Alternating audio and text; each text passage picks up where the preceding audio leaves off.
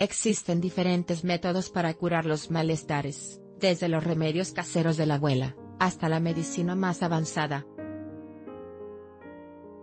Sin embargo, lo que realizó un hombre, originario de Rostov, Rusia, va más allá de lo antes mencionado. Resulta que un conductor y su acompañante estaban viajando tranquilamente por una carretera cuando, de manera inesperada, vieron que alguien estaba herido en el campo. Al esto, decidieron bajar del vehículo y apoyarlo. Cuando llegaron con la víctima, se dieron cuenta de que tenía clavado un enorme cuchillo en la cabeza. A pesar de esto, estaba completamente consciente.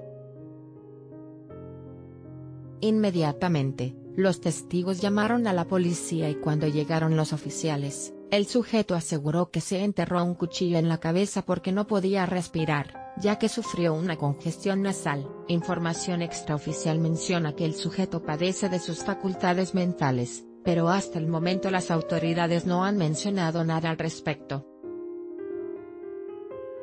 Finalmente, el hombre, cuya identidad no ha sido revelada, fue trasladado a un hospital. Una vez ahí, los médicos lo sometieron a una cirugía para extraerle el cuchillo.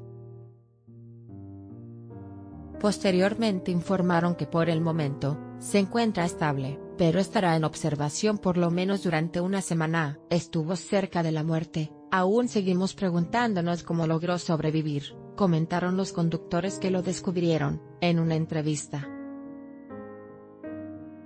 De igual manera se informó que cuando sea dado de alta, será trasladado a una institución psiquiátrica para valorar su salud mental. La grabación del sujeto en el campo, con el cuchillo incrustado, tardó poco tiempo en viralizarse y generó todo tipo de reacciones entre los usuarios.